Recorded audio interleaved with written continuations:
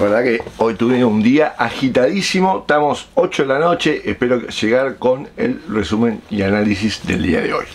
Bienvenidos a un nuevo review y análisis de película, pero esta vez nuevamente con un review y análisis de series de televisión. En realidad ya no sé si son series de televisión, sino más estamos ya con el tema de las series por internet. En el día de hoy tengo una serie que la verdad al principio tenía mis dudas, pero la verdad que gracias a dos Gun Player que me la recomendó y no, me acuerdo si alguien más me la recomendó también. La verdad, gracias, porque me encantó esta serie. It doesn't matter. What does matter is that to them justice was done. See, a just world algunos detalles para tener en cuenta es una serie americana producida por HBO y la verdad un recuerdo muy pero muy bueno que yo tengo de las series de HBO. Puede ser que haga un resumen más adelante. Hay una serie que se llama eh, Band of Brothers, que es de la Segunda Guerra Mundial, que está muy relacionada lo que es la película Rescatando al Soldado Ryan, o como que es, digamos, como una presecuela de lo que fue esa película que a mí la verdad me fascinó y por supuesto que tengo, tengo original en DVD. Volviendo a la serie, como les dije, es de HBO, es de Estados Unidos. La duración de cada capítulo es de 60 minutos aproximadamente, salvo el último capítulo que se extiende casi a una hora y media. Se estrenó en mayo del 2019 y es del género de drama. Es de una sola temporada, o sea, son 5 capítulos de una sola temporada.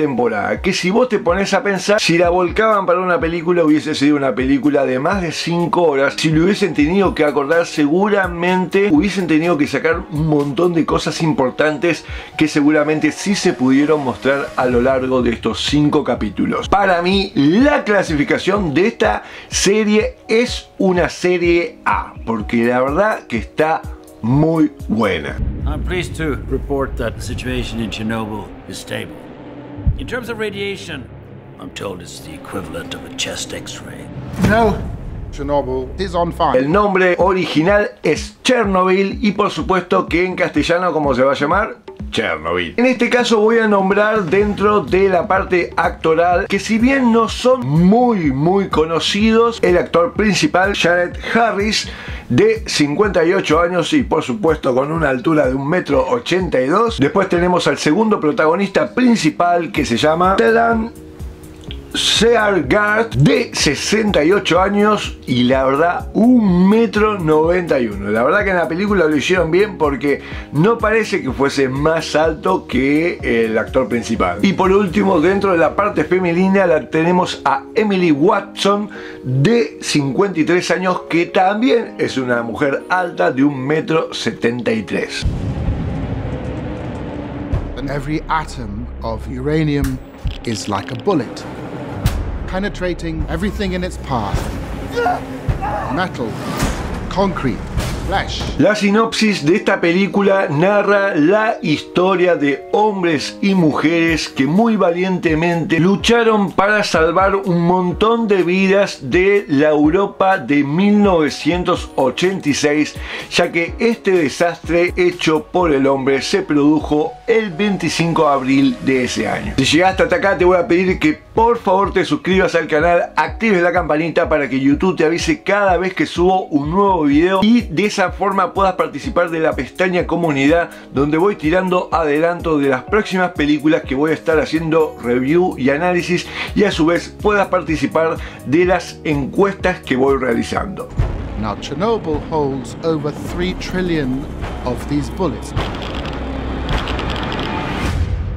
Some of them will not stop firing for 50,000 years. Con respecto al análisis de esta serie, bueno, lo primero principal que les tengo que decir es que los primeros tres capítulos me los vi enteros en una noche, así que aproximadamente las primeras tres horas de serie me las comí en una sola noche y después terminé viendo el cuarto y quinto capítulo al día siguiente. Una cosa para destacar dentro de esta serie, por decirlo así, dentro de este review de esta serie es que pese a que vos ya sabés cómo es la historia, pese a que ya sabés cómo fueron todos los acontecimientos, la serie te invade, te hace atraerte a querer saber cada detalle de este suceso. Por eso, digamos, es algo que la verdad que está muy bueno dentro de esta serie de que te atrapa para que vos te veas cada uno de los capítulos y por supuesto quieras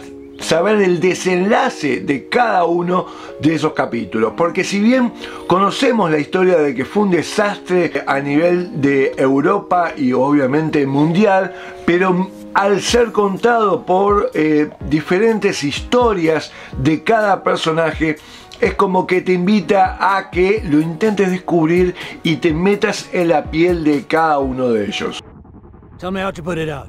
You are dealing with something that has never occurred on this planet before. Otra de las cosas por las cuales tendrías que ver esta serie es porque es parte de la historia de la humanidad. Cosas que debemos evitar como sociedad, como personas, como seres humanos, para que no vuelvan a pasar y para que sepas, digamos, el trasfondo de las cuestiones políticas y de países con respecto a situaciones de la vida real. Por eso creo que es una serie que la verdad que la tenés que ver. Otra cosa para destacar es la actuación de cada uno de los actores. Está bien que están los principales, pero también hay muchos actores eh, secundarios o de reparto que te meten en la historia de aquella persona a la cual representan y por supuesto que la vas siguiendo en detalle y, obviamente que te quedas a ver el desenlace de cada una de esas historias. Por eso creo que para mí la actuación fue excelente tanto en los actores principales como en los actores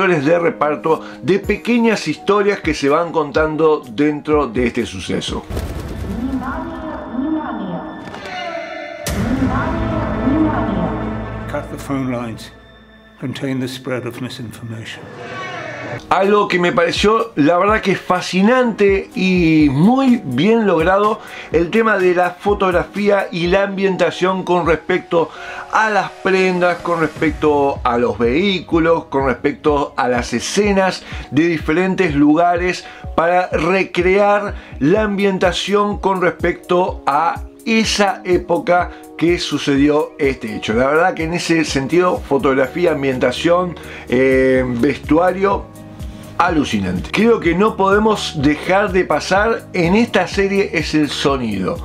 La verdad que el sonido de eh, los medidores de radiación es como que se te meten adentro tuyo y te dan una sensación de desesperación en cada momento que vos lo vas escuchando. Y es como que también te van compenetrando en el momento vivido de aquella persona que tiene uno de esos lectores de radiación lo que habrán sentido en ese momento de su vida cuando el sonido era tan chillante y tan gritón que marcaba que la radiación era extrema y que eh, esa persona se estaba exponiendo a esa radiación. What will happen to our boys? The pain is unimaginable. Three days to three weeks. Dentro de la música también es un papel muy importante. El tema final de la serie, la verdad que me encantó, lo busqué, lo puse, me lo bajé, porque pese a ser, digamos, dentro de lo que vendría a ser como una especie de ópera, la verdad que me encantó eh, el tema de la música. También muy bien llevada en cada uno de los capítulos que te compenetran dentro del ambiente y por supuesto dentro de esta historia. Algo que no te podés perder es la historia post crédito del último capítulo donde te comenta por supuesto la historia de cada uno de los personajes. Te meten en toda esa información que por supuesto no pertenece digamos a la película, pero seguramente vos tenés la duda de cómo fue el resultado dentro de sus vidas a lo largo de tanta exposición a la radiación.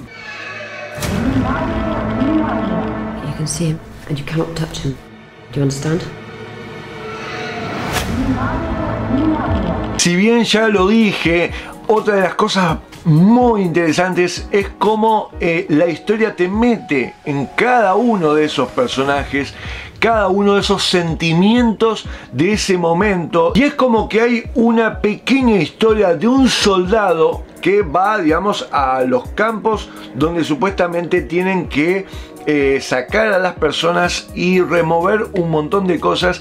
Y es la historia de un soldado que lamentablemente eh, se mete dentro de o es alistado para eh, cubrir necesidades con respecto a la ciudad y cómo tiene que matar animales para que no sobrevivan, no se expongan y no lleven la radiación a otros lugares. Además de que la gente no consuma esos animales. Esa historia particularmente, la verdad que te llega demasiado al corazón. What happened on the night of the accident? Asking the right question will get you the truth. There is no truth. What happened then? What happened after? Por eso con todo esto, la verdad que si vos no viste la serie, yo la verdad que te lo recomiendo. Mirala, no, no vas a pasar miedo, no vas a pasar, digamos, sustos, pero eh, si bien hay imágenes, algunas imágenes, muy pocas, fuertes de cómo quedaban los cuerpos con respecto a la exposición de la radiación, gente que estuvo en el momento de la explosión, es la única parte fuerte que tiene, digamos, en sí la película, pero bueno, que lamentablemente son momentos eh, que se tienen que mostrar para demostrarle quizás al público lo que produce la radiación en el cuerpo de las personas.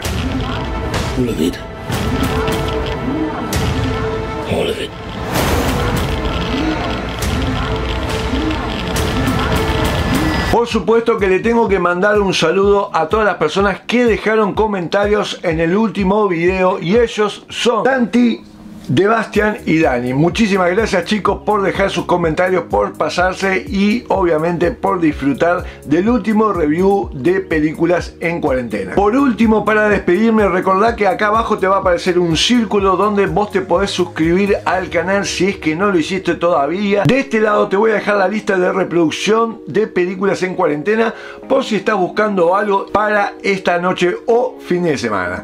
También te voy a dejar acá de este costado lo que vendría a ser la visita del youtuber Luisito Comunica, que se compone de dos capítulos cuando visitó Chernobyl. La verdad que a mí me encantó la cobertura que él hizo, por eso te lo dejo a vos por si no lo llegaste a ver. Muchísimas, pero muchísimas gracias por mirar y nos volvemos a encontrar seguramente el lunes en un nuevo review de pelis en cuarentena. Muy buenas noches. Madness.